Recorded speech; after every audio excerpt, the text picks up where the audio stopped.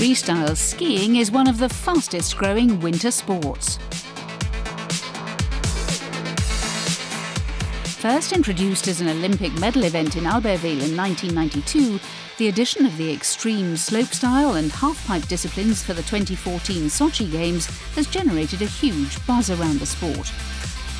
Trans World Sport recently travelled to Fredriksberg in Sweden to meet up with one of freestyle skiing's biggest stars. 23-year-old Henrik Harlaut is a double X Games gold medalist and one of those helping to expand his sport's appeal. It's such a fun sport to be a part of. There's always something new for you to do every day. Whether it be trying out a new mountain or attempting a new trick, it always gives you fresh and exciting challenges. It's also great to be out there skiing with your friends.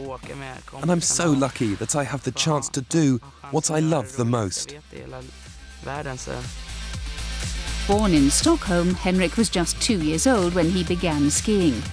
Age nine, he and his family moved north to Åre, one of Sweden's leading ski resorts. It was there that the young Henrik was first introduced to the world of freestyle.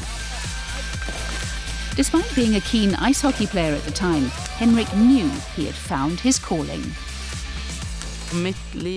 My life revolves around skiing. I'm constantly thinking of it when I'm not on the snow, and I spend around 300 days a year skiing.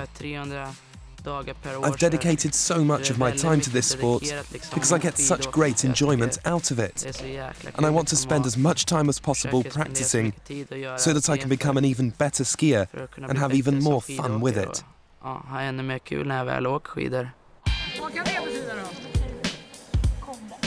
When we caught up with Henrik, he was appearing as a guest coach at a youth activity centre in Sweden called Snow Camp. The camp is helping to develop the next generation of snow sports enthusiasts, but the laid back atmosphere also attracts professional athletes like Henrik for their summer training. Andreas Larsson is the camp's co owner. We are delighted to have him here. He's a fantastic person and an incredible athlete. The kids get a bit starstruck when they see him and just stand watching him. They tend to be a bit shy at first, but they come up to him asking for autographs. They want to jump with him too. Henrik competes in both the slopestyle and big air disciplines of freestyle skiing. Slopestyle sees competitors take on a downhill course of obstacles such as rails and jumps while trying to perform the most difficult and varied tricks. Big Air, meanwhile, requires riders to perform the best single trick while obtaining maximum height and distance.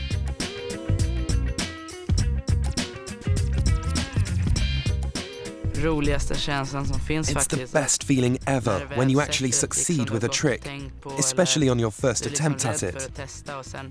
If you've constantly been thinking of trying it, but you've been a little bit scared to really commit and go for it, then pulling it off is just pure happiness. I think it's the same with any aim or goal that you've been preparing for or thinking about, and that you desperately want to achieve. When you finally do manage to accomplish it, that's such a fantastic moment. It really is indescribable. Henrik's popularity has surged in recent years as he has made an impact on the biggest stages. At the 2013 Winter X Games in Aspen, Colorado, he took gold in the big air competition and silver in slopestyle.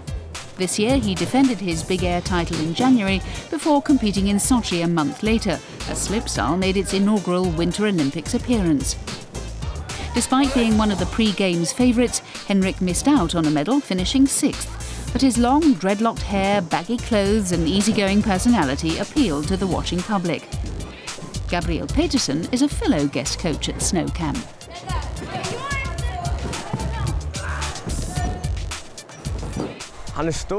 He's a big name now, really big. It's not only skiers who know who he is. He has his own style, and that separates him from the crowd.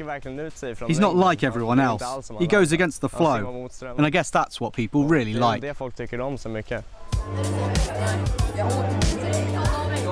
Like many winter extreme sports, slopestyle has traditionally been dominated by athletes from the United States. The last five Winter X Games men's slopestyle golds have all been won by Americans, and the three male medalists from Sochi were also from the US. Sweden lacks such a distinguished history in the sport, but Henrik's success is helping to encourage more youngsters in his country to move away from traditional disciplines such as cross country skiing and explore the likes of freestyle instead. It's increasing in popularity, both with teenagers and adults. Henrik has become very popular since the Olympics, as the media focused on him, and even older men and women find him interesting. But mainly, it inspires youngsters to try this type of sport. I remember when I was a kid, going to competitions and seeing all my favourite sportsmen competing. Now I'm an athlete. I always try to keep in my mind the way I felt when I would run up to my idols and how I would have wanted them to act towards me. That's the way I try to act with the kids coming up to me today. I feel honoured to have fans. And I always try to take the time to say hi and make sure I talk to them because I know that's what I would have wanted as a child. Henrik's style has undoubtedly had an impact on his following, but no one could accuse him of lacking a great deal of substance to go with it. Known for his pioneering approach to his sport, 5 foot 5 inch Henrik is constantly pushing the boundaries of freestyle, devising and landing incredibly complex tricks, such as the unprecedented nose butter triple cork that helped him secure his first X Games gold last year. It's incredible how much you can learn from him.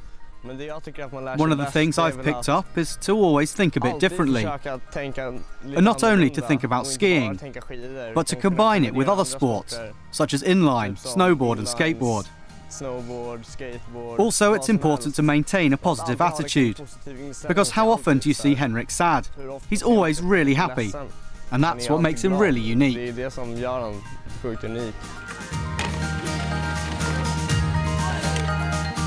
While Henrik has experienced plenty of success in his career so far, there's still much for him to achieve in freestyle. The absence of a major slopestyle gold medal from his CV is something he will look to address when the Winter X Games return for their 19th edition next January. Another appearance on the Olympic stage in Pyeongchang in four years' time is also an ambition. But for this laid-back star of freestyle skiing, the quest for medals and accolades aren't the only motivation.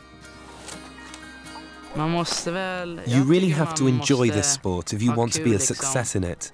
It's so free and open. And I think that if you aren't having fun when you're practicing and performing, then you might grow tired of it and lose interest. So I always try to have as much fun as possible when I'm skiing. It's difficult to reach a really high level in this type of sport, if you're only in it for the money or to win titles. Above everything else, you must be looking to have a good time. Switch backflip to switch on the flip.